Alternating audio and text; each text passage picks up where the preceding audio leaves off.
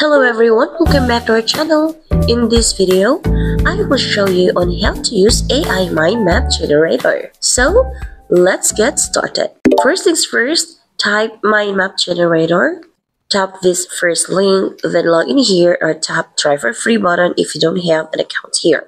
And now, this is what looks like inside the website. We can now type our prompt to ask ideas. Now, Click this arrow beside dialog box to see our choices of actions to be done by this AI.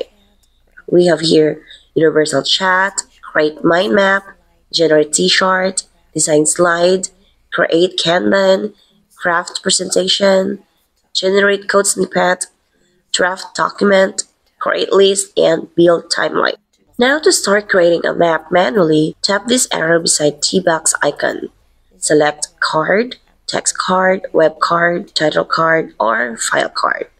Okay. Now we have this type of line here too to connect ideas. So let's try here. Create a text card first, then put a line here. Alright, and so we have here also a choices for frame size and we have also a column. Right here, we can also choose the cursor and we can zoom in and out this page and we can zoom in out this page export and share this image map too. And also it has a presentation mode map. Alright, and uh, right here on the box, this is where we're going to type our prompt and of course, we can attach here a file if you have already a topic to be scrutinized by this AI by just tapping this plus sign.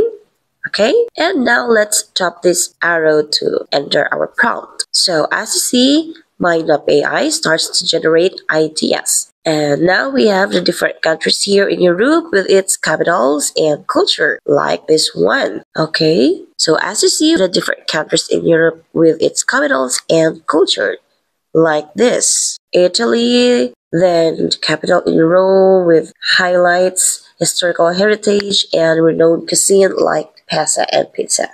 Okay, so there you go guys. This is on how to use AI mind map generator. If you found this video helpful, Please give us a thumbs up and subscribe for more videos.